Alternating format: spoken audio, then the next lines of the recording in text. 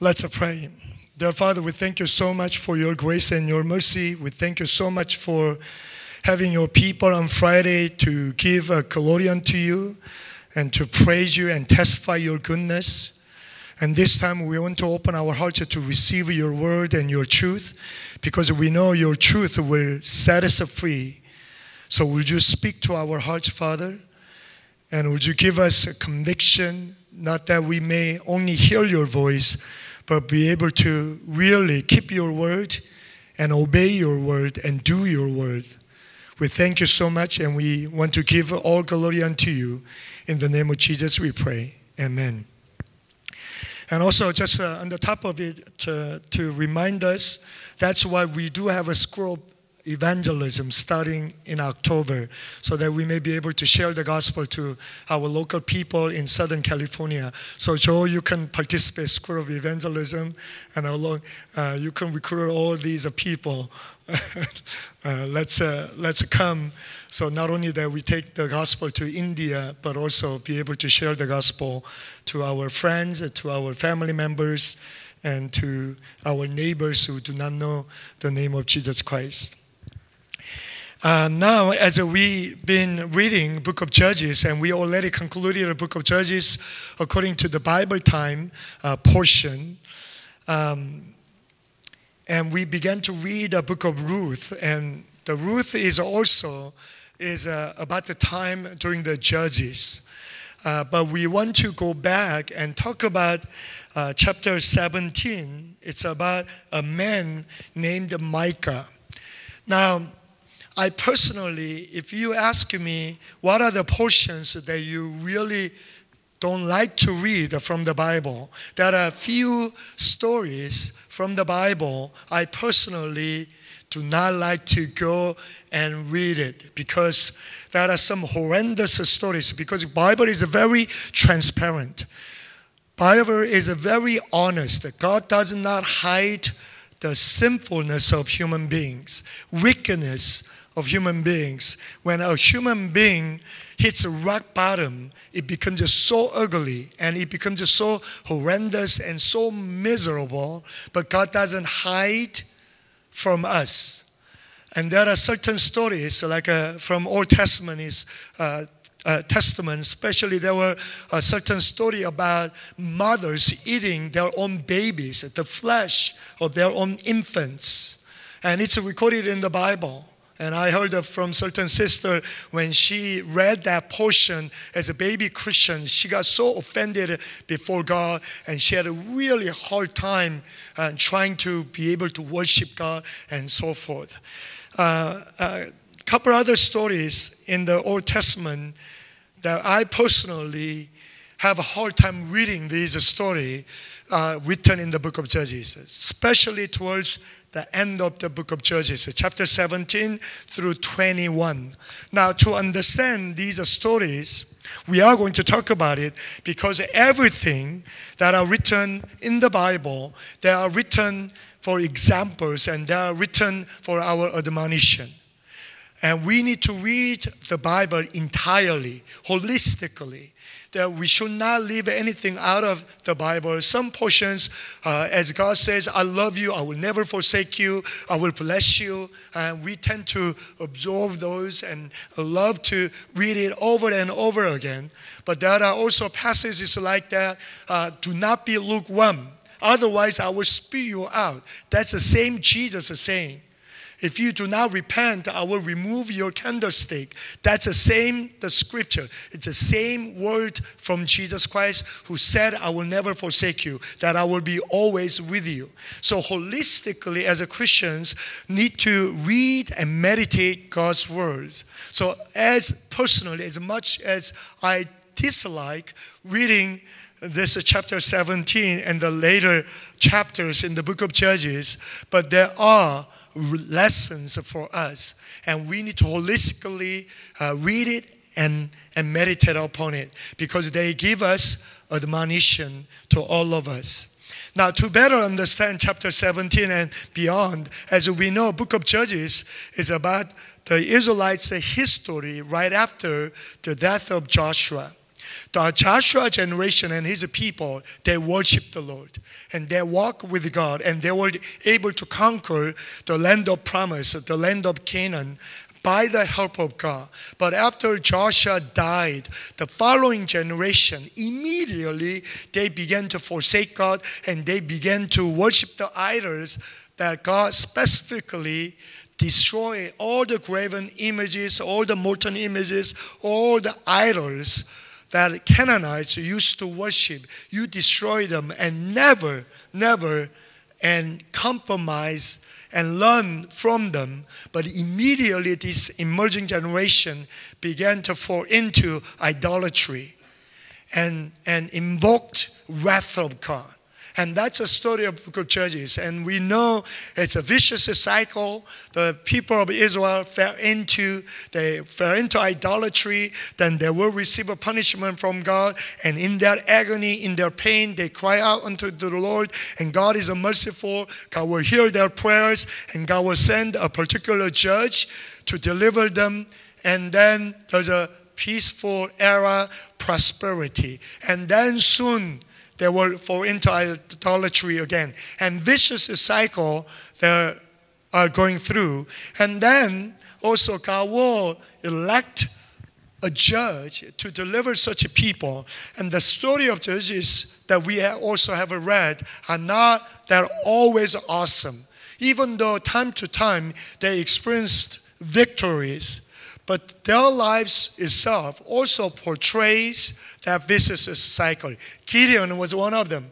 Even though he was able to bring such mighty victory with only 300 men, but later on he made a golden ephod and caused the people whoring after these golden ephod.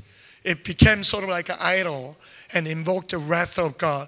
And later on, his descendants, 70 sons, uh, by conspiracy all died because he uh, looked after, he chased after the lust of his eyes because he had many wives. Jephthah was the same way. Samson, we talked about last week, was the same way. Now, so God talked about lives of judges and lives of the people. The history ended in the book of Judges, at least, with the story of Samson. Now, what we read and what we hear from chapter 17 is not chronological order of history of Israel.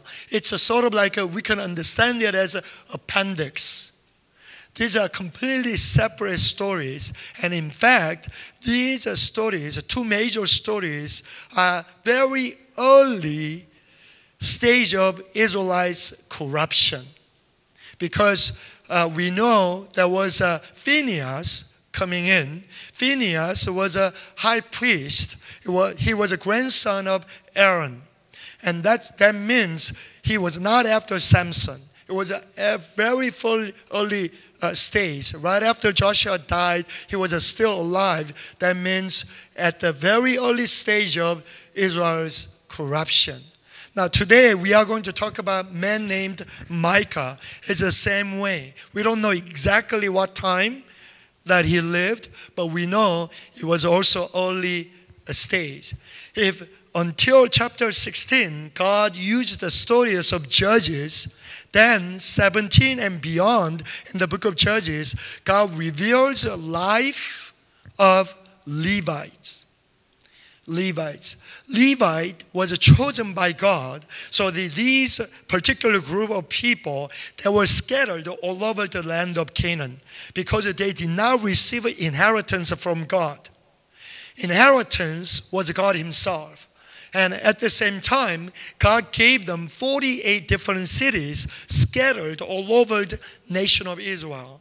And they're supposed to live among different tribes. Why? Because their role was to provide knowledge and the service of God to the people.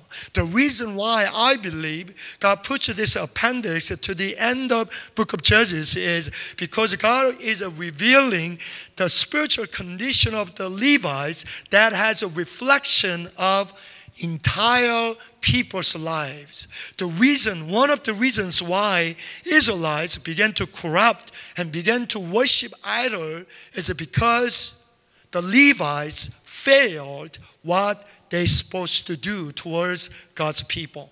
The Levites were sort of like today's clergies, pastors, the called people to minister God's people spiritually, to teach the Bible, teach the way of the Lord. But these Levites failed what they're supposed to do, and then it has been reflected to the lives of entire Israelites, and they began to become corrupted and worship the idol and invoked wrath and the punishment of God and that we can see this because there are two stories written from chapter 17 and the two levites they come forward. One is with a micah there was a particular man micah uh, lived in the mountain ephraim.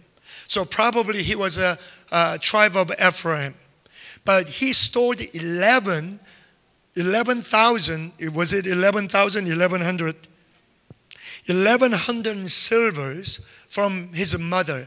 And after his mother lost these silver, he, she began to curse the man who stole it.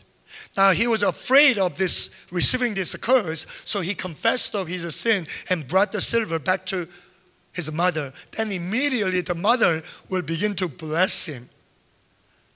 May God, Lord, bless you. But out of these 11, thousand, hundred two hundred silvers.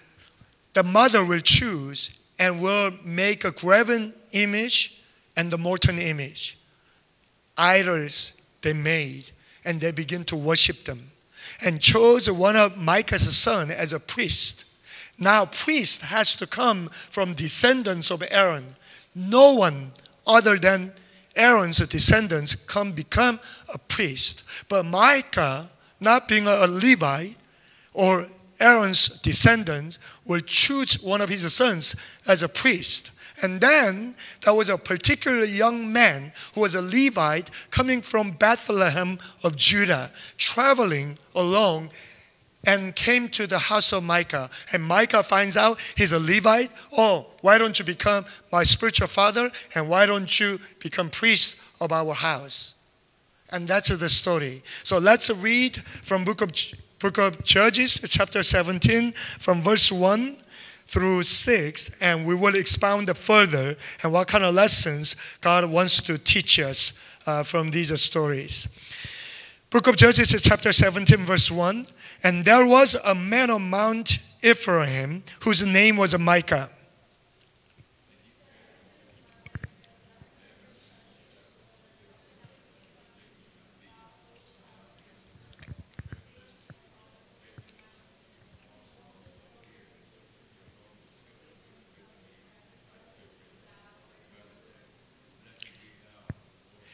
And when he had restored the 1100 shekels of silver to his mother, his mother said, I had a wholly dedicated the silver unto the Lord from my hand for my son to make a graven image and molten image. Now therefore I will restore it unto thee.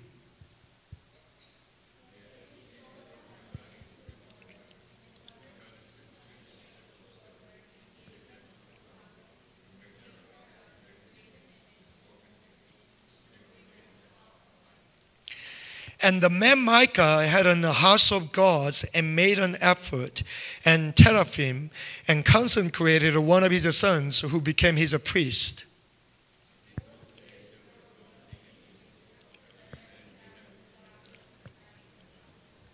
Now, repeatedly, that we will hear on verse 6 in those days there was no king in Israel, but every man did which was right in his own wise. As we know, to be a kingdom, we need a three or four components to create a kingdom. To be a kingdom, we need a people. And to be a kingdom, we need a territory, land. And also to be a kingdom, we need a king to rule over the people. And on the top of it, the king lays down the law for the people. So when the Bible says in those days there was no king in Israel, it means spiritually, these people did not consider their God as their king because God wanted to be their king. So, because there was no king, they did not consider their God as their king, as their ruler. Everyone did whatever seems to be right in their eyes. In other words, everyone did according to their emotion, according to their desire, whatever fits good for them, they did it. It was chaotic. There was no ruler, there was no God in the midst of their lives. And because they did not consider their God as their king, there was no law. And as we've been reading the book of Judges, that we can see the word of God, the law of God, is scarcely mentioned in any of these stories, and particularly from chapter 17 and on. And Micah and his mother, they wanted to receive God's blessings. So let's talk about Micah, this man. Why did he steal 1100 shekels of silver from his mother? Because this man is led by the lust of his flesh. He loves the money, he's a covetous, and he stole the money from his mother. Then his mother invoked the curse upon the stealer, and then he brings back because he doesn't want to be cursed. He wants to be blessed. And the mother finds out the thief was her own son. So instead of cursing, she reverses it to bless him. Now, their motivation is a prosperity. Their motivation is a blessing. They want to receive a blessing in their lives. But what do they do? They end up using the portion of silver to make graven image. Graven image is you take a wood and you carve it with a certain image, the idol, and you cover it with the silver. Molten image is just uh, that you broil silver and melt it, and with a certain image, the whole thing they use make a silver idol. So two idols they made, but along with it, there's an ephod. Ephod should belong to priests, not to regular people, especially from the tribe of Ephraim. So they are trying to control everything. They have absolutely no idea what God said in the law, how they are able to worship God to receive God's blessing. So they are doing their own ways apart from God's law. They have absolutely no interest what God says, what the Bible says, but they are doing it their own way. Even worshiping God, even trying to receive blessings from the Lord.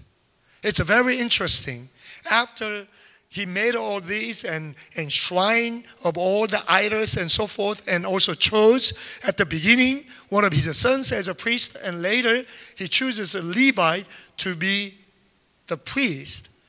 But what the Bible says, what Micah says after what he has done, this is what he said. 17 verses 13. Hmm. Book of Judges 17 verse 13. This is Micah saying, Then said Micah, now know I that the Lord will do me good, seeing that I have a Levi to my priest.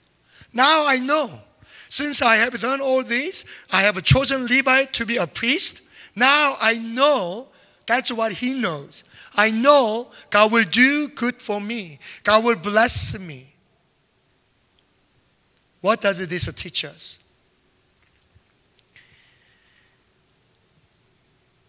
This teaches us, as a Christians, we can do the same way. We can be so ignorant of God's word, and we don't care about what God says from the Bible. But according to my desire, according to my ways, I can create my own God. My own God.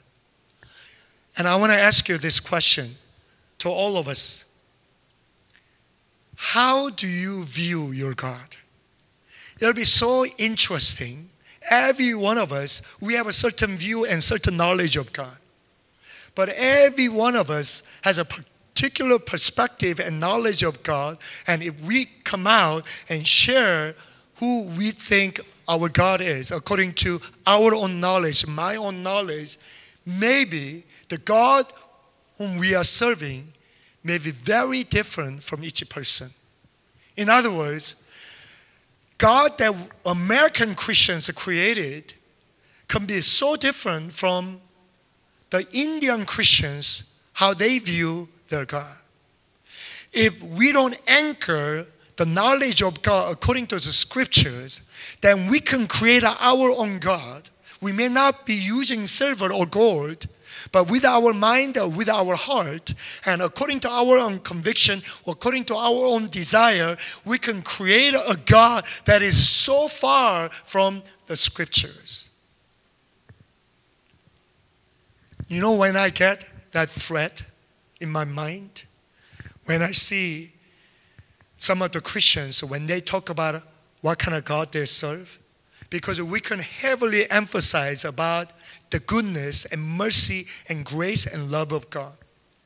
Once I was traveling um, in, in a business trip to Korea when I was working for a secular company.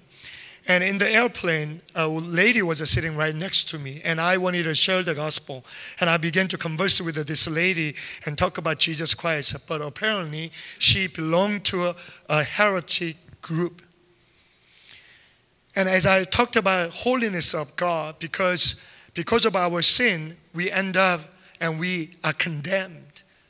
And she was asking me, Are you telling me God the Father, loving, merciful God, will send us to hell?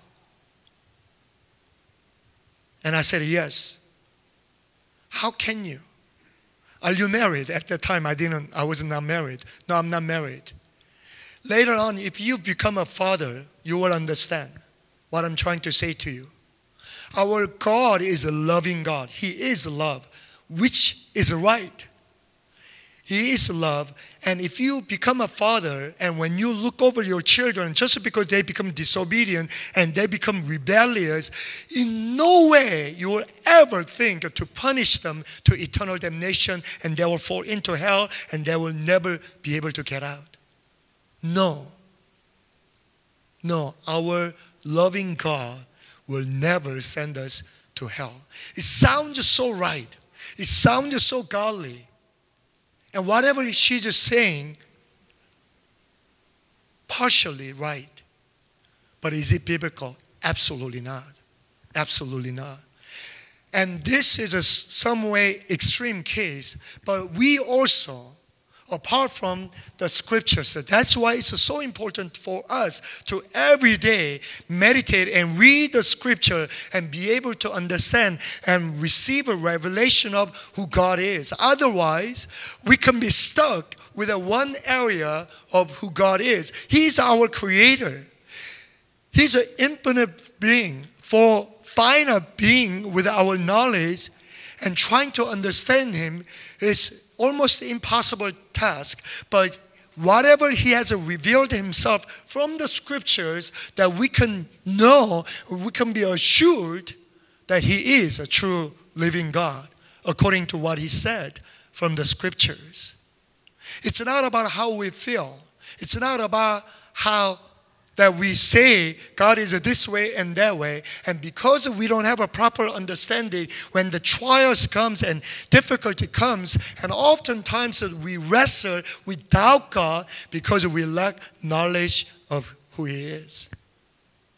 Because how wonderful, merciful, loving God can allow such evil and such difficulty in my life, and we try to condemn God without understanding properly.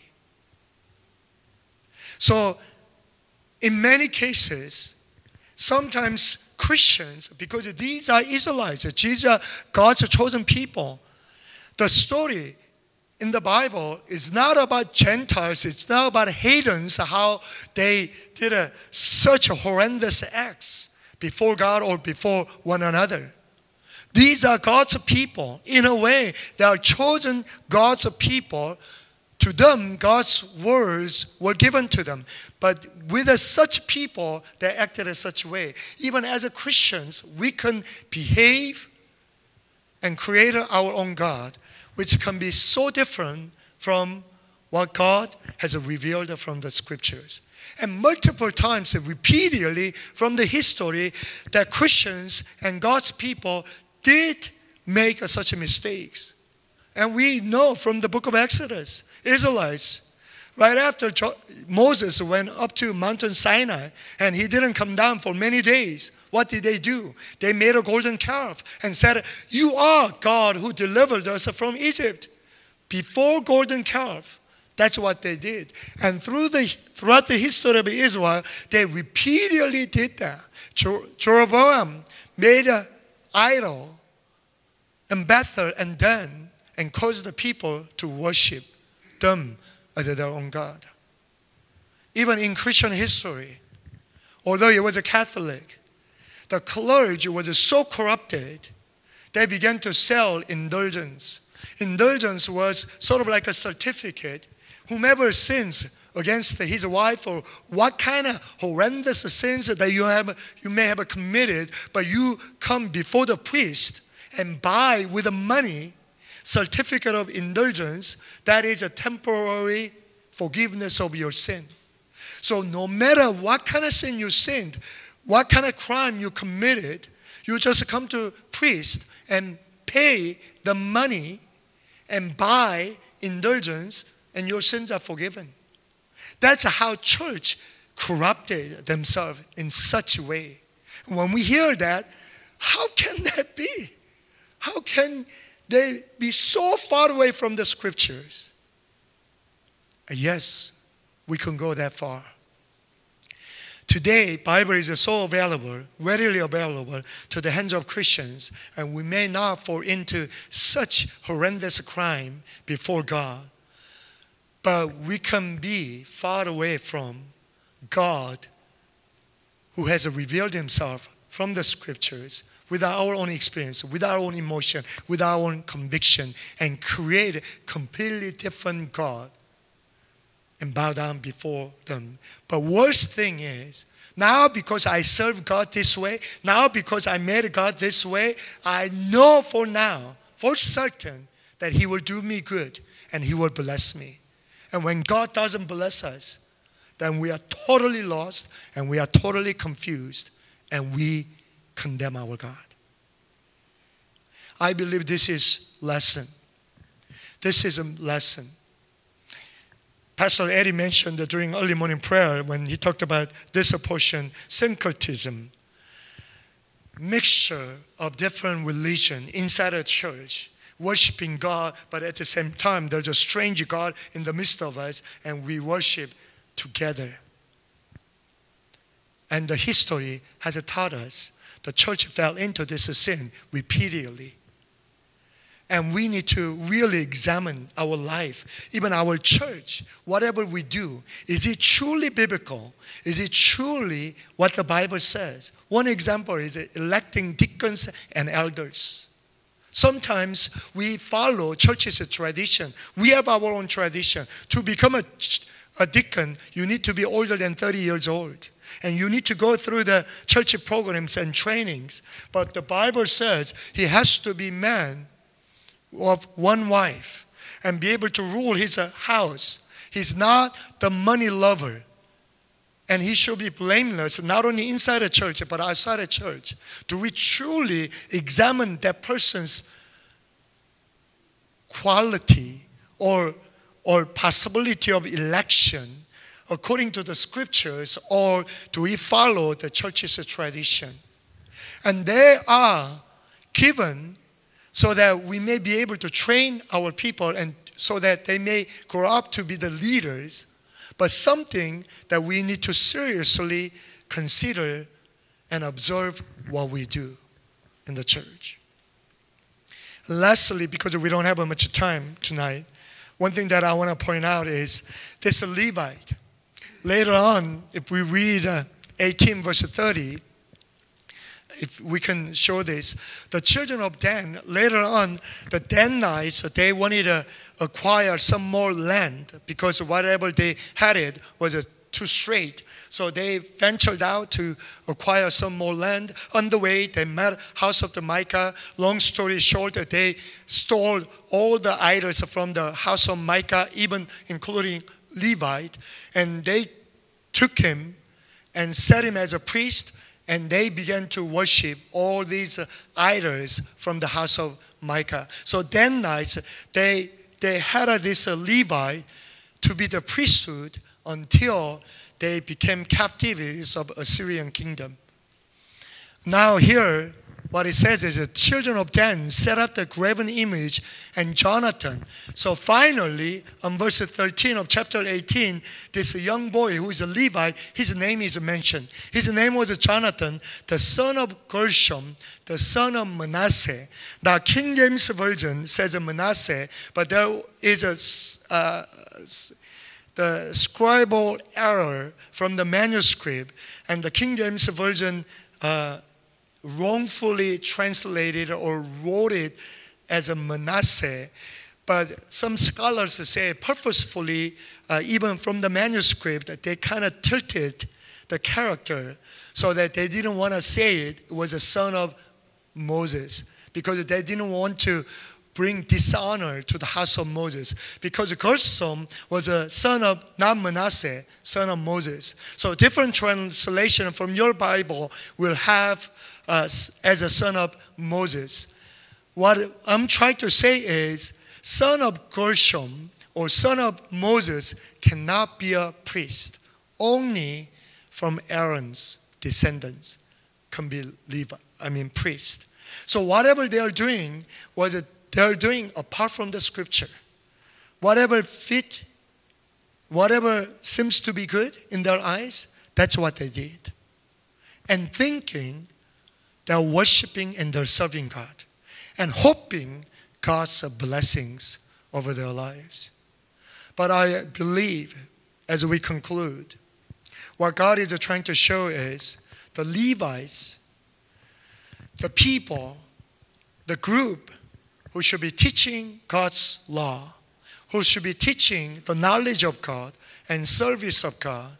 And when they failed, that's what they got the condition of the book of Judges. When the clergy and the pastors and the spiritual leaders, if, when they do not fulfill their role of leading God's people spiritually, teaching them the Bible properly, and praying for them, when they fail, and their failure is reflected in the lives of Christians in much, much worse way. While I share this, I covet your prayers for the pastors. Please do pray for me and pray for the, all the pastors. Their lifestyle, their walk with the Christ, and their fulfilling God given role and calling is so vital to your personal life and your personal walk with Jesus Christ. Let's all rise.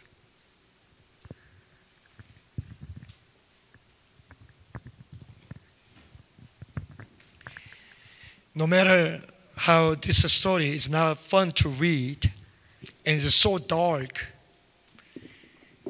even from chapter 19 and on, there's another Levite who had a concubine. So two Levites' stories are very dark.